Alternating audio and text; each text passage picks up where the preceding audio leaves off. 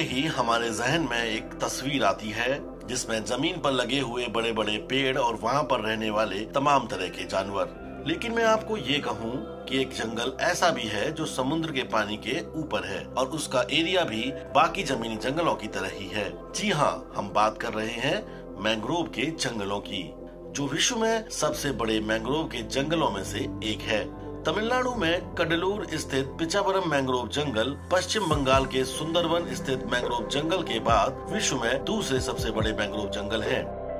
हम आपको घुमाएँगे समुद्र के ऊपर पाए जाने वाले मैंग्रोव के विशाल जंगल और बताएँगे कि यहाँ रहने वाले लोगों के लिए यह कितने मददगार हैं। पिचावरम आने के लिए आप स्कूटी या फिर कैब से भी आ सकते हैं यह पुडुचेरी से महज दो घंटे की दूरी पर है। गर्मी ज़्यादा होने के कारण हमने पुडुचेरी से कैब से जाने का फैसला किया। वैसे मौसम अच्छा हो तो स्कूटी अच्छा ऑप्शन हो सकती है। हम सुबह सुबह नाश्ता करने के बाद निकले पिचावरम के लिए।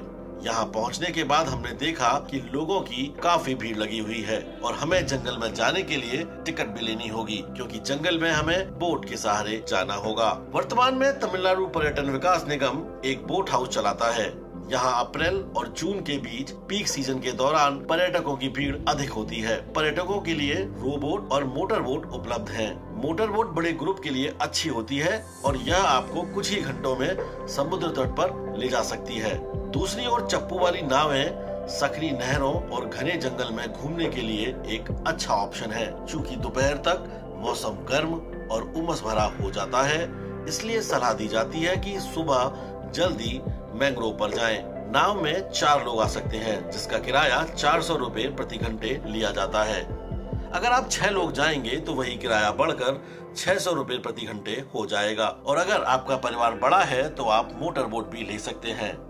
हम दो लोग थे तो हमने भी एक फैमिली के साथ जाने का फैसला किया और मोटर बोट को हायर किया, जिसका किराया आठ लोगों के लिए अठारह सौ रूपए था, जिसमें हम दो किलोमीटर का एरिया घूम सके। सुबह आठ बजे से शाम पाँच बजे तक बोटिंग की सुविधा उपलब्ध रहती है। यहाँ मैंग्रोव पेड़ों की लगभग अस्सी विभिन्न प्रजातियाँ हैं, जहाँ बैक वाटर होने की वजह से पानी धीमी गति से बहता है और मिट्टी को वही रहने देता है।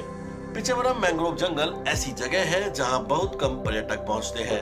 हैरानी की बात यह है कि यह दुनिया के सबसे बड़े मैंग्रोव जंगलों में से एक है। मैंग्रोव और किलई बैक वाटर वेल्लार कोलिडम मुहाना से निकलते हैं। यह 1200 हेक्टेयर में फैला हुआ है और बंगाल की खाड़ी में मिल जाता है। वहाँ यह एक लंबे रेत के किनारे से अलग हो जाता है। इन मैंग्रोव को दुनिया के सबसे हेल्दी मैंग्रोव में से एक माना जाता है। इसमें कई द्वीप हैं, जो हर जगह अनगिनत झाड़ियों और पेड़ों से जुड़े हुए हैं। जंगल में 50 से अधिक द्वीप और विभिन्न आकारों की अनगिनत नहरें हैं।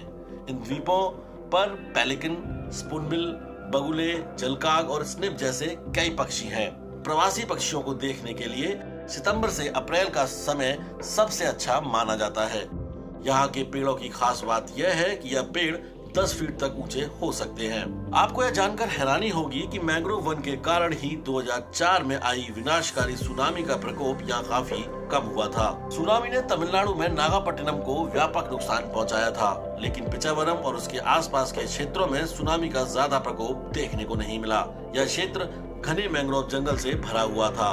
यह उन ऐतिहासिक घटनाओं में से एक थी जिसने इस तथ्य पर ध्यान आकर्षित किया कि अगर मैंग्रोव प्राकृतिक आपदाओं के दौरान प्रकृति के विनाश में कवच का काम कर सकते हैं।